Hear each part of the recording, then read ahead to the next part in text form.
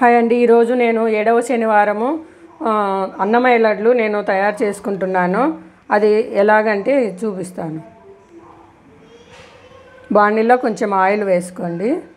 మనకు బూందీ తయారు చేసుకోవాలి కదా దానికి సరిపడా ఆయిల్ వేసుకున్నాము అది వేడైన తర్వాత మనం శనగపిండి వాటర్లో కలిపి పెట్టేసుకున్నానండి. ఇది మనం ఎలా తయారు చేయాలో చూపిస్తాను. ఆయిల్ వేడైంది ఇప్పుడు మనము బూందీ ఎలా తయారు చేసుకోవాలో వేస్తున్నాను. ఒక గరిటె చిల్లులు గంటె తీసుకొని దీంట్లో ఆయిల్ ఇలా అనేస్తా ఉంటే మన కింద బూందీ పడుతుంటుంది అనమాట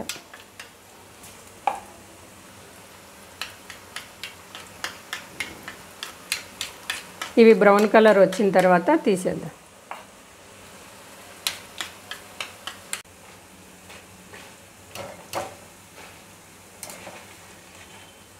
ఇప్పుడు వేగాయండి. బ్రౌన్ కలర్లోకి వచ్చాయి. ఎందుకంటే కొంచెం బ్రౌన్ కలర్ ఉంటే మనకు అన్నమయ్య లడ్డుకు బాగా ఉంటుంది. దానికోసమని కొంచెం బ్రౌన్ కలర్ వచ్చేంత వరకు వేయించాను. అదే ఆయిల్లో కొంచెం జీడిపప్పును ఇలా వేయించుకున్నానండి. తర్వాత కొంచెం కిస్మిస్లు. ఇలా అయితే కొంచెం మాడిపోకుండా మనం గరిటెలోనే తీసేయచ్చు అనమాట అందుకు నేను అలాగే చేసుకుంటాను ఇది. బూందీ ఏం చేసుకున్నాం కదండి? ఇప్పుడు ఒక నేను ఒక కప్పు శనగపిండి తీసుకున్నా ఒక కప్పు చక్కెర వేస్తున్నా. ఆ చక్కెర మునిగేంత వరకు మనం వాటర్ కలుపుకున్నాం.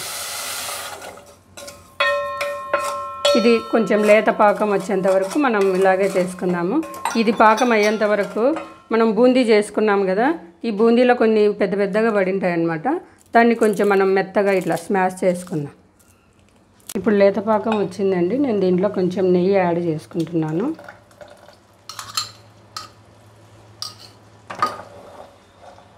తర్వాత కొంచెం పచ్చకర్పూరం వేసు.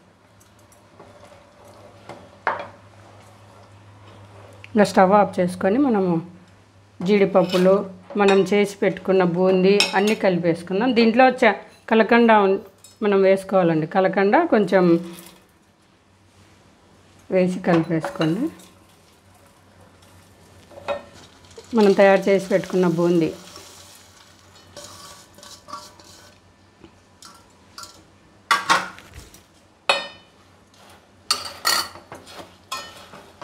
ఇదేనండి మనకు నేను దేవుడికి పెట్టిన నైవేద్యం. కొంచెం వేడిగా ఉంది. చల్లారిన తర్వాత నేను లడ్లూలు తయారు చేసి దేవుడికి నైవేద్యంగా పెడతాను.